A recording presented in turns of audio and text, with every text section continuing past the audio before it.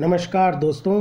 लेटेसिटी channel brings to you selected material for NET preparation and this series this particular series which I have started from this lesson is about some important theoretical concepts. Literary theory plays a very important role in preparation of uh, NAT exam as you all know and there are certain concepts which prove to be quite difficult uh, to understand especially for Indian students.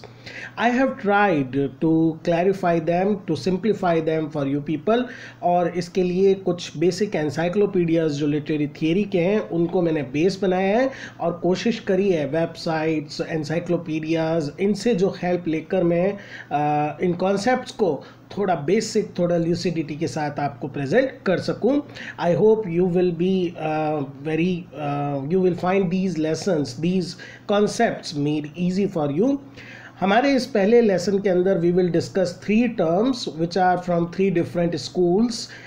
the first term which we will discuss is chronotope and it is is it is a term is a term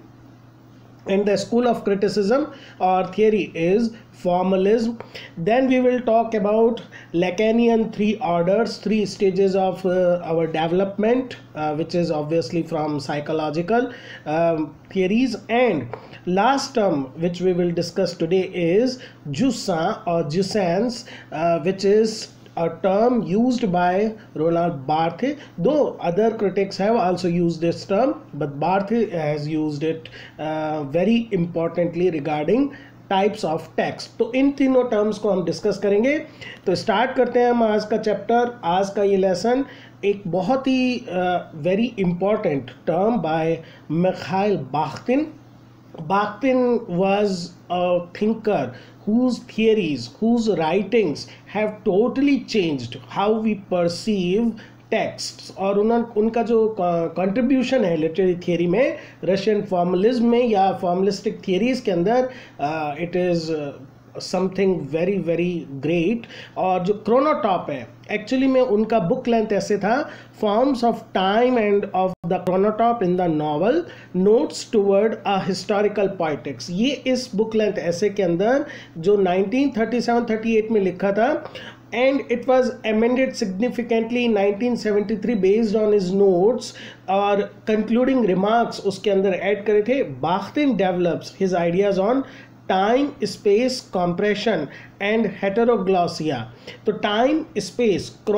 chronotope. Chrono is Greek root for time and top for place. So time, place compression और उसी से related एक और term इन्होंने develop करी थी, हेटेरोग्लासिया। और इन सबको उन्होंने एक टर्म में कोशिश करी थी समझाने की that term is chronotope okay friends chronotope क्या है?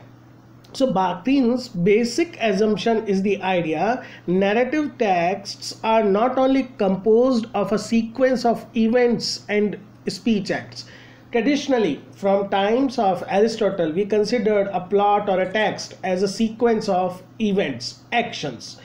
But uh, according to Bakhtin, more importantly, it is a construction of a particular fictional world or chronotop. So chronotop is what? Chronotop is basically a literary artist chronotop, spatial means related with space and temporal related with time. These indicators are fused into one. इन indicators को क्या कर देते हैं हम fuse कर देते हैं किसके अंदर एक particularly carefully thought out concrete whole time thickens takes on flesh becomes artistic visible what basically is trying to say वो सिंपल इतनी सी बात कहना चाह रहे हैं, ये जो एब्स्ट्रैक्ट क्वालिटीज़ हैं टाइम की और स्पेस की, इन एब्स्ट्रैक्ट क्वालिटीज़ को चेंज कर दिया जाता है कॉन्क्रीट क्वालिटीज़ के अंदर। टाइम को thickens as if time is not an abstract entity as if it is something living being और उसके बाद basically uh, space becomes charged and responsive to the movement of time plot and history. This intersection of axis एक तरफ़ time की axis एक तरफ़ space की axis और जब इनका इंटरसेक्शन होता है जब इनका फ्यूज़न होता है वो आर्टिस्टिक क्रोनोटॉप बनता है। एक राइटर इस तरह से टाइम और स्पेस को आ, अपने हिसाब से मैनिपुलेट करता है। अपने हिसाब से वो इस पर्टिकुलर फ़ील्ड के अंदर नेविगेट करता है कि we are able to identify it formalism ये इसलिए टर्म में काम आती है क्योंकि बाख्तिन के अनुसार हर पर्टिकुलर जॉनरे का एक अपना पर्टिकुलर क्रोनोटॉप होता है। हिमसेल्फ पॉइंट्स आउट बाख्तिन खुद ये कहता है कि ये जो कॉन्सेप्शन है नैरेटिव टाइम एंड स्पेस का for this particular concept he was indebted to to philosopher Immanuel Kant and Albert Einstein's relative theory Kant से बाख्तिन ने टाइम और स्पेस का ये आइडिया बोरो करा कि in essence categories through which human beings perceive and structure the surrounding world human beings के लिए ये जो टाइम uh, और स्पेस होता है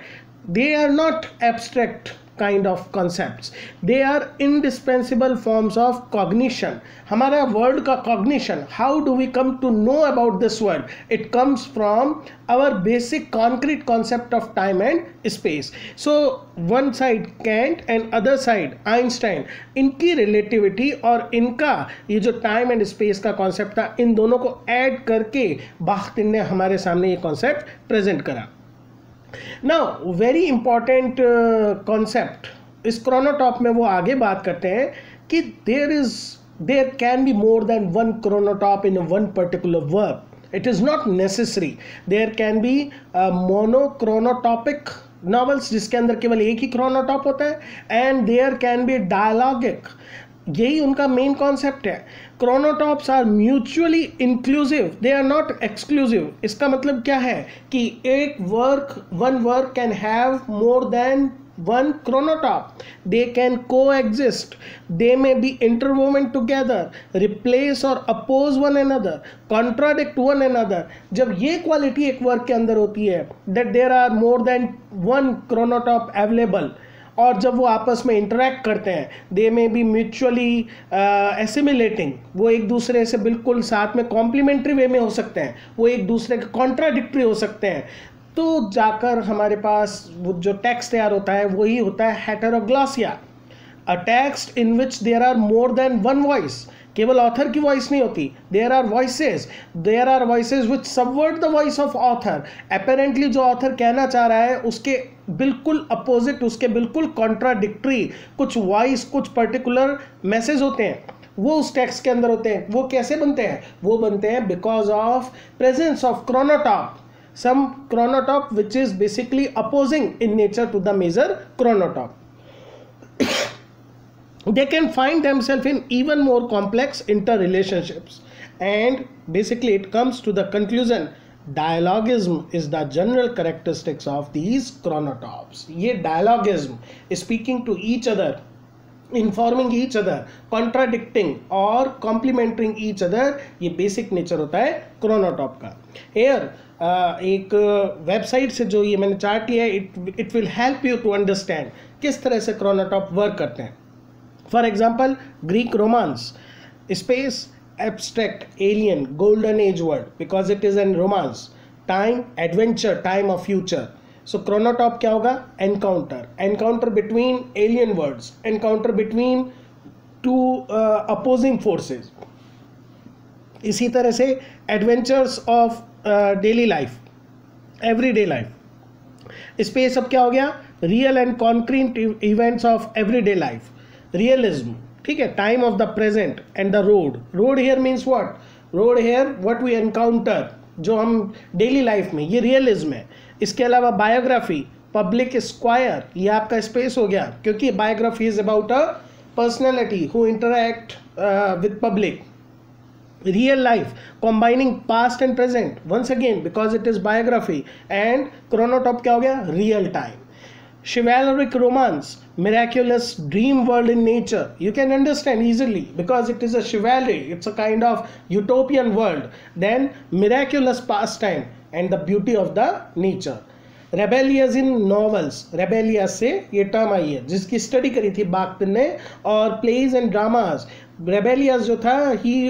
actually wrote dramas, wrote plays and texts which were about body, clothing, food, drink, sex, death, and defecation. Productive growth of future and possible time and threshold. Threshold is very important. Threshold between the real and unreal, between the canny and uncanny. So, and idyllic novel, family territory, unity of space, idyllic and folkloric pastime and the family idyll ये ये एक let me give you one more example mulk raz anand the famous indian writer when he wrote his uh, short uh, novella the village इसके अंदर he tried to create a village of R K Narayan Malgudi days what he is trying to do he is trying to create a time he is trying to create a place that exists really so it's not fictional so this is a kind of chronotop we find in many uh, later works okay friends i hope you now get the concept of chronotop अब हम चलते हैं दोस्तों psycho analysis की तरफ and who can't deny the role played by Lacan uh, in psychoanalytic literary theories? Freud से start हुआ था कार्ल यंग उनके स्टूडेंट थे और उसके बाद यक्वस लैकन ने uh, बहुत ज़्यादा रिवीजन करा इनको मॉडिफाई करा और एक बहुत इंपॉर्टेंट कॉन्सेप्ट प्रेजेंट करा। यहाँ पर हम बात करेंगे थ्री स्टेजेस ऑर्डर्स या registers of human psychological development जिनके बारे में लाकान बात करते हैं। इन तीन स्टेजेस को उन्होंने नाम दिया है रियल इमेजनरी एंड सिम्बॉलिक और इन तीनों के इक्वलेंटेड इक्वलेंट जो है human development from birth to early stages उनको प्रेजेंट करा है। चलिए इन तीनों के बारे में वन बाय वन हम पढ़ते हैं। We all know Lacan was one of the most important psychoanalysts in 20th century.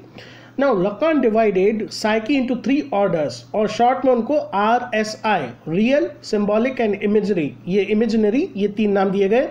In 1936, he delivered his seminal paper on the mirror stage at the 14th International Psychoanalytic Congress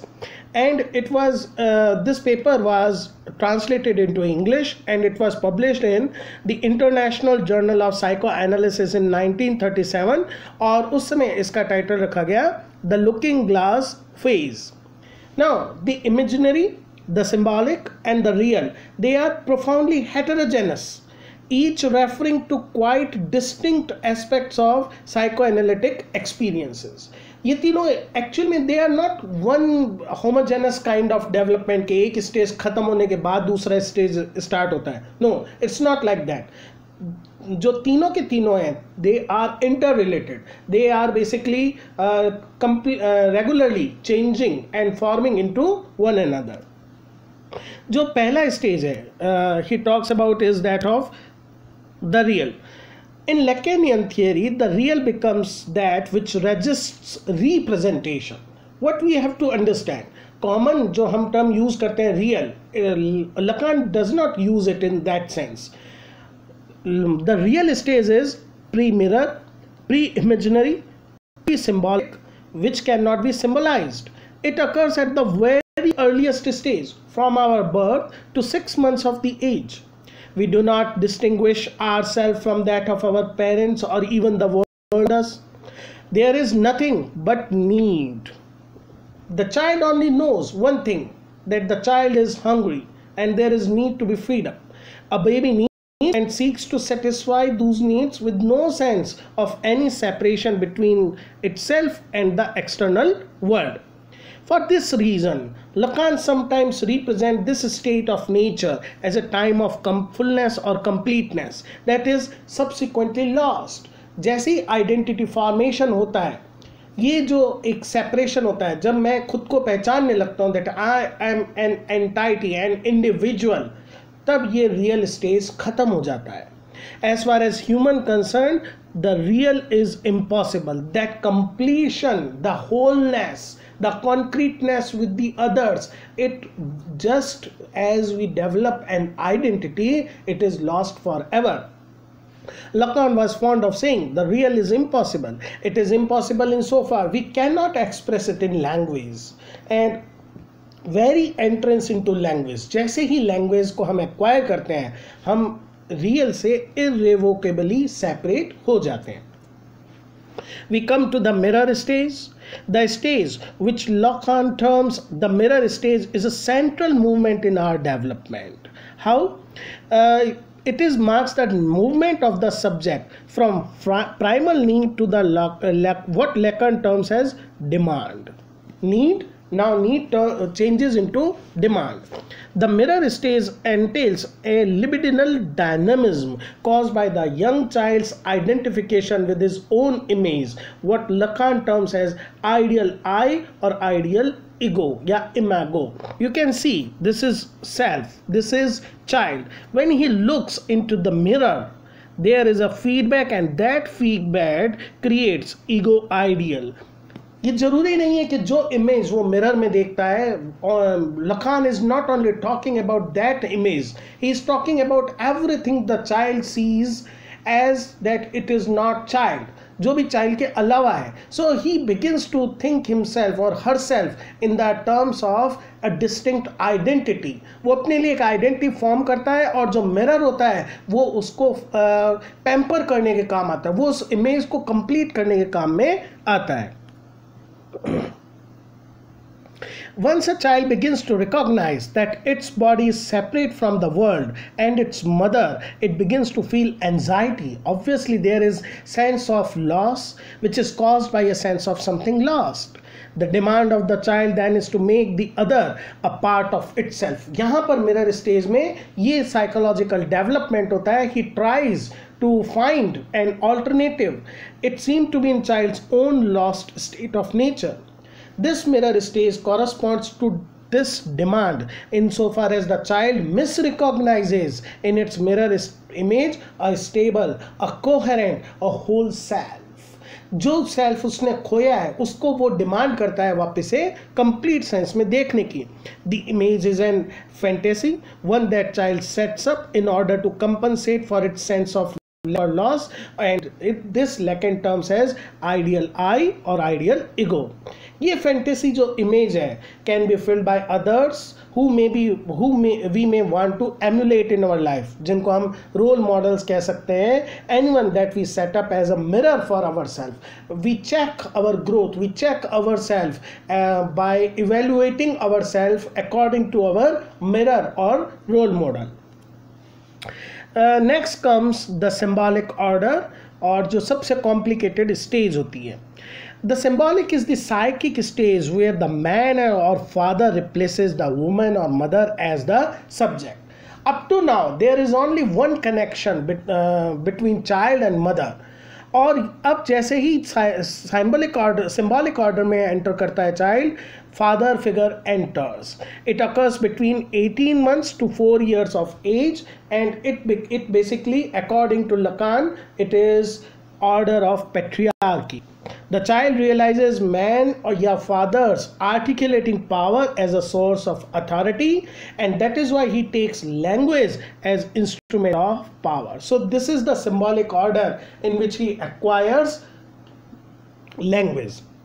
the child's innate urge to acquire language why does he want to acquire language because it is child's attempt to rival the man or father जिसको Freud ने Oedipal complex कहा था rivalry to father वो actual में लेकिन उसको symbolic order के द्वारा समझा रहे हैं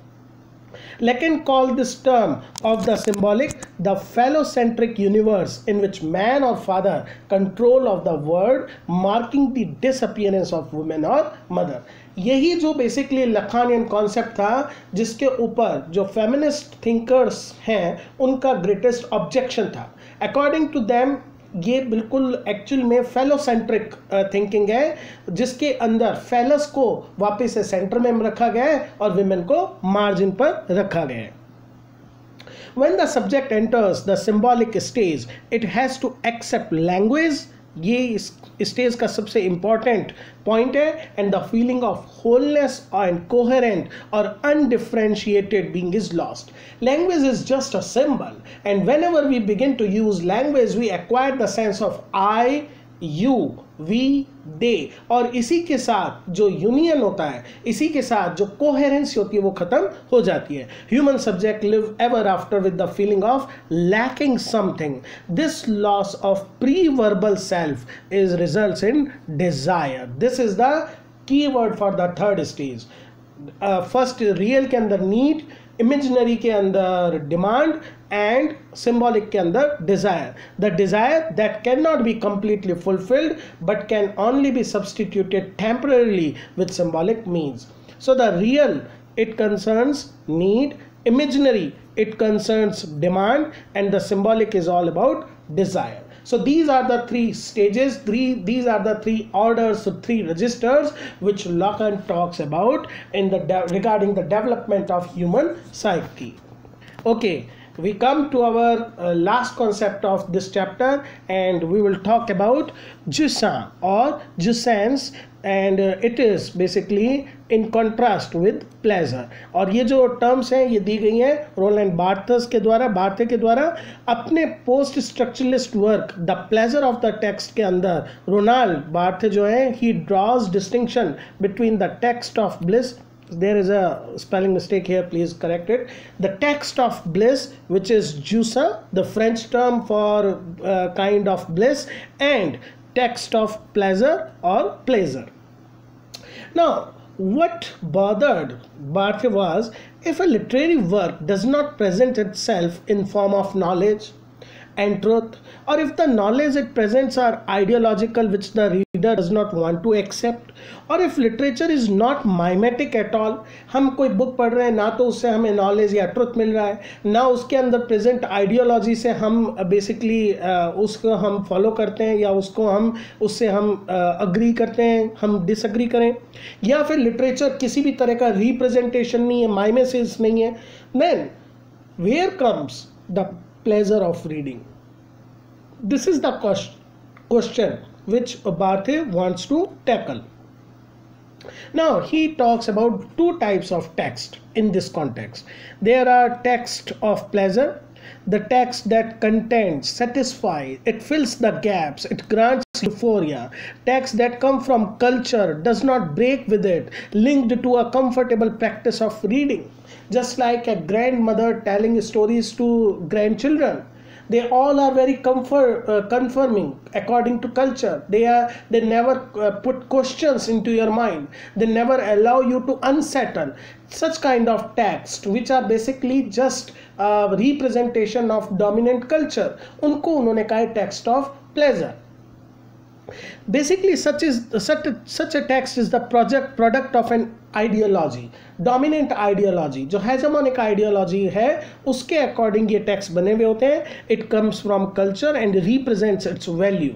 it copies the language of a particular class that is why such texts don't unsettle you they they allow you to sit and calmly enjoy the literature uh, typical 19th century British novel which recounts the various cultural aspect of the period could be seen as a book of remembrance. The uh, reader need not to forget about the uh, atmosphere, ambience, particular circumstances in which he or she is reading the text such texts are texts of pleasure या उन्होंने जो दूसरी term use करी थी such texts are reader texts ये जो text होते हैं these are readerly texts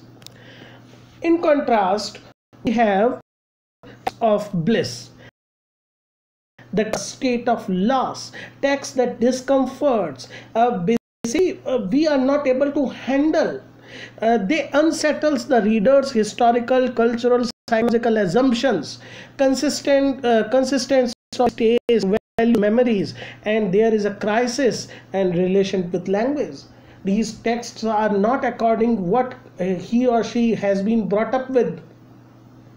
If the reading brackets out the signified of the text it is a kind of perverse reading and it results in the loss of the text. This loss is the of the text or jouissance of the text. If the text of bliss shows the opposite of culture, rather in such a text, culture and its opposite are presented side by side. Such a text, such a reading is both remembering and forgetting at the same time, and it creates a type of uh, juica is basically a term related with erotic pleasure. So he has used this metaphor to point out it creates a kind of erotic pleasure because we are in a state where all our uh, assumptions are questioned. We we find ourselves in a kind of unsettled pleasure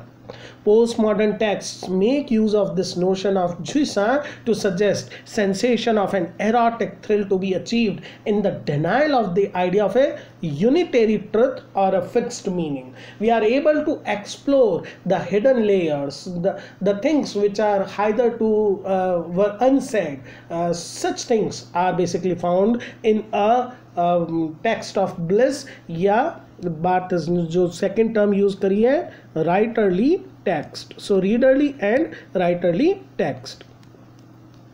okay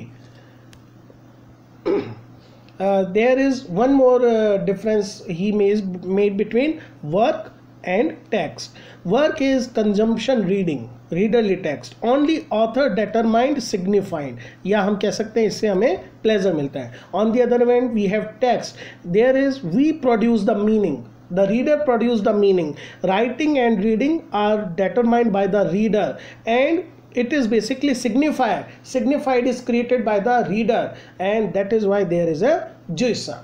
okay okay, दोस्तों ये थे हमारे आज के तीन terms और नए नए कॉन्सेप्ट्स पर हम बात करेंगे चर्चा करेंगे। I hope you will find this lesson important for your understanding of some difficult critical concept देखिए एक छोटा सा मीम मैंने यूज़ करा trust nobody even the author ये है हमारे पास पोस्ट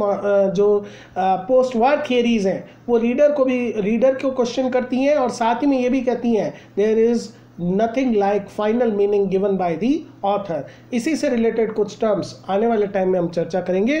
थैंक यू फ्रेंड्स